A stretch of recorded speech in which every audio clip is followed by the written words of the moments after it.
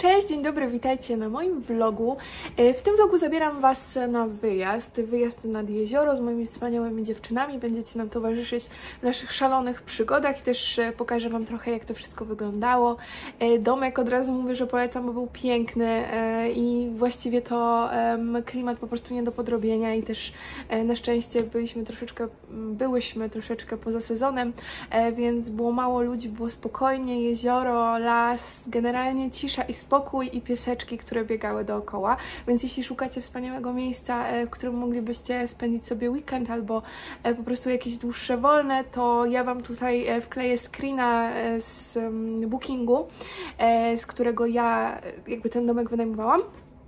Dziś w tym filmie będę chciała powiedzieć Wam też pokrótce o moich dwóch wspaniałych patronatach majowych, e, z których jestem niesamowicie dumna, e, no i właśnie zabrać Was na taką e, wycieczkę. Nie będzie tam dużo mówienia o książkach, tylko o tych dwóch, których, które mam tutaj. Te, które czytałam tam, na pewno opowiem o nich więcej w podsumowaniu maja, które już wkrótce pojawi się na kanale, a ja życzę Wam wspaniałego oglądania.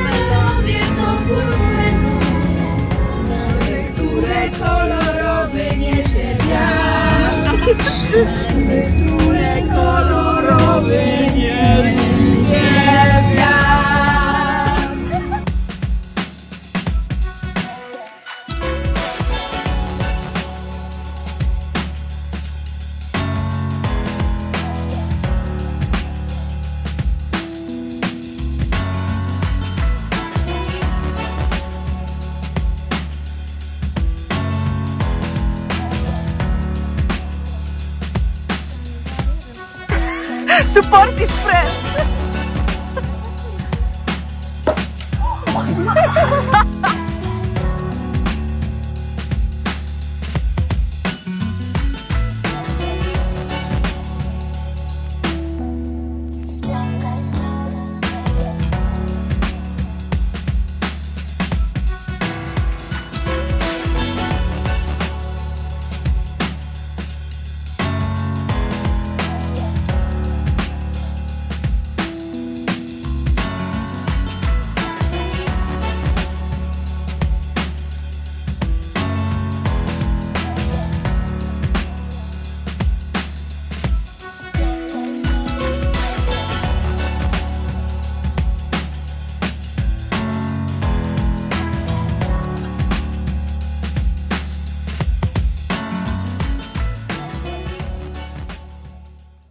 Początek chciałabym opowiedzieć o e, Muchomorach w cukrze. Jest to mój pierwszy patronat majowy, który swoją premierę miał 17 maja, z tego co pamiętam.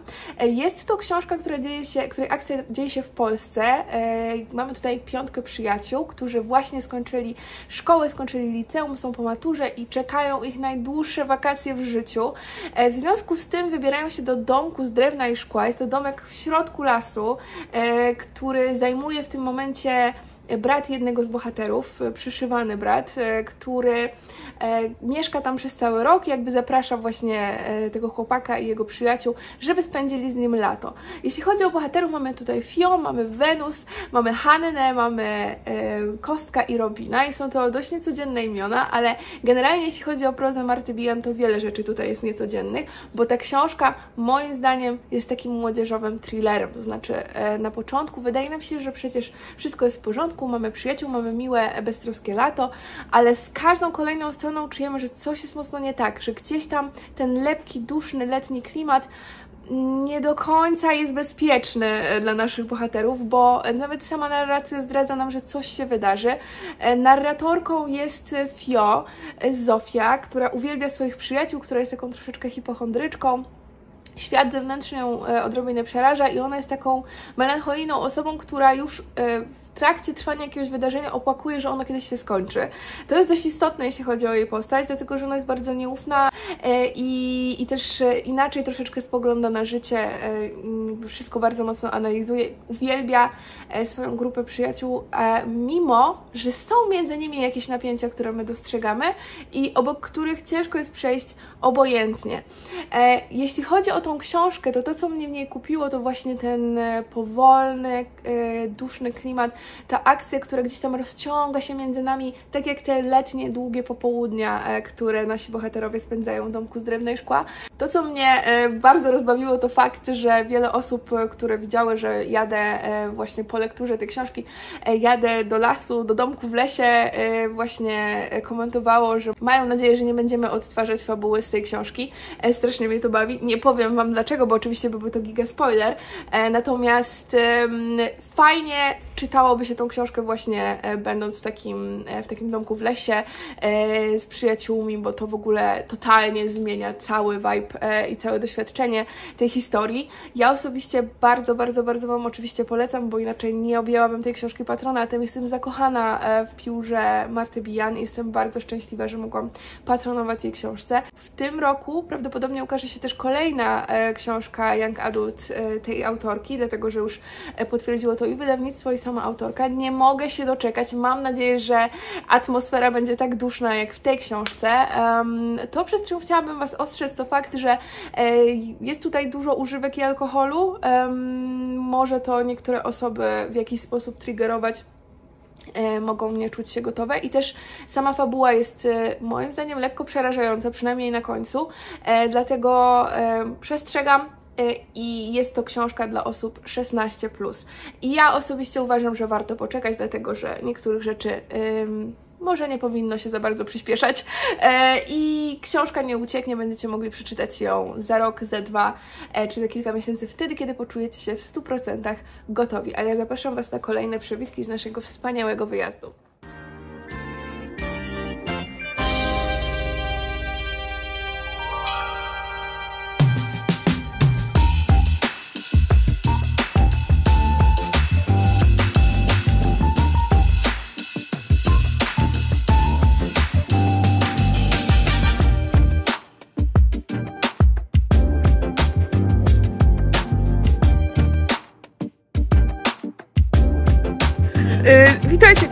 Z kamerą wśród zwierząt. Dzisiaj robiłyśmy pranie i okazało się, że mm, jakimś y, dziwnym y, trafem rura, która powinna odprowadzać wodę, uznała, że się wypnie, więc dzisiaj mamy jezioro w mieszkaniu.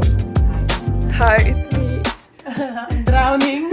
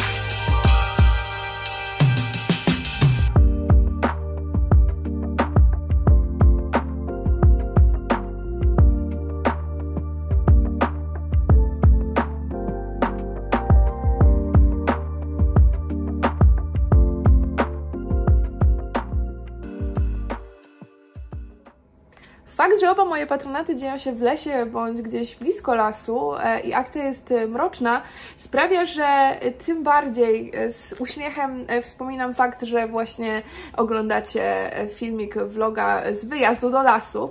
Cieszę się, że nasz wyjazd nie był taki mroczny i jego finał był słodki i kochany, bo wróciłyśmy do domu bezpieczne i wszystko jest w porządku. Ale żeby więcej nie przedłużać, chciałabym przejść do Wiedźmy z bliska. Jest to debiut osoby autorskiej Wiktorii Szłap, książka z 2011 roku, która nareszcie została wydana w Polsce i bardzo się z tego cieszę. Przełożył oczywiście Maciej Studencki, który przekładał wszystkie książki wydane przez Unidia e, tej osoby autorskiej, z czego bardzo, bardzo się cieszę. Jest to książka, która opowiada o Lexi, e, dziewczynie, która mieszka w miejscowości blisko, która nie widzi siebie w roli e, kobiety, kobiety pani domu, e, kobiety żony, kobiety matki, która chciałaby od życia czegoś więcej e, i z tego powodu jest taką trochę buntowniczką e, w tym miejscu, z którego pochodzi. W tym samym czasie, kiedy my ją poznajemy, gdzieś tam na skraju lasu obok jej domu pojawia się pewnej nocy tajemniczy mężczyzna, który znika niczym mgła w pewnym momencie i od tego czasu mm, z miejscowości blisko zaczynają znikać dzieci. Każdej nocy e, znika jedno dziecko z jednego domu, a że Lexi ma młodszą siostrę, którą kocha i uwielbia, zaczyna się stresować, zaczyna się bać o nią e, i o jej bezpieczeństwo e, i nie wierzy, że mężczyźni z tej miejscowości dadzą sobie radę z mocami, które te dzieci gdzieś tam zwabiają do lasu. Istnieje też legenda, która mówi o, która mówi o wiedźmie z bliska, wiedźmie, która lubowała się właśnie e, w takim trochę porywaniu mieszkańców e, i dlatego mm, e, nasza główna bohaterka rozpoczyna śledztwo na własną rękę. W międzyczasie też właśnie przez ten taki niefortunny zbieg okoliczności, że ten e, obcy mężczyzna pojawia się gdzieś tam blisko wioski i zaczynają znikać te e, biedne dzieci, e, wszyscy w wiosce m, mm, wychodzą z założenia, że to on je porywa. I teraz e, zadaniem e, naszej wspaniałej głównej bohaterki przestaje być tylko dbanie o bezpieczeństwo jej siostry, ale także chce dowieść, że ten tajemniczy nieznajomy wcale nie stoi za wszystkimi tymi porwaniami.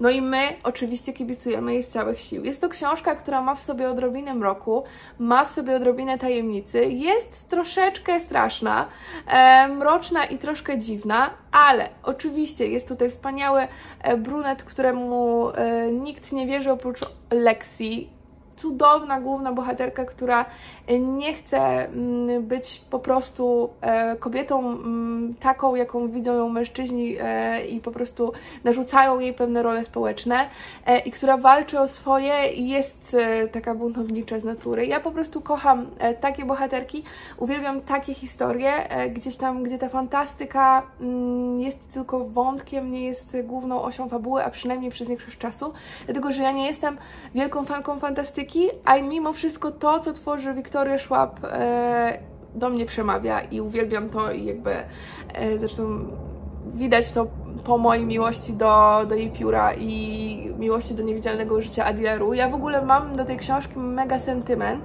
Od samego początku go miałam, dlatego że widzę w tych bohaterach, w tych e, tworzonych przez nią postaciach e, i też w ogóle w całokształcie fabuły takie pierwsze za zalążki innych historii, które uwielbiam, czyli na przykład właśnie Niewidzialnego Życia Adilaru, czy e, Mrocznej Krypty, czy Galanta. Mimo, że Galant nie jest moją ulubioną książką właśnie tej osoby autorskiej, to widzę jakby te pomysły, te początki, to w jaki sposób Wiktoria Szłap się też rozwinęła, bo e, ja zaczęłam od e, wtedy jej najnowszej książki, e, Przygody z tą osobą autorką. Teraz mam w rękach jej debiut i widzę po prostu tą drogę, którą przebyła i jestem niesamowicie wdzięczna, że żyje w czasach, w których żyje taka osoba e, i tworzy takie wspaniałe historie, które przemawiają e, wprost do mojego serca. Mam nadzieję, że sięgniecie, czy to powiedzmy z bliska, czy po muchomory w cukrze.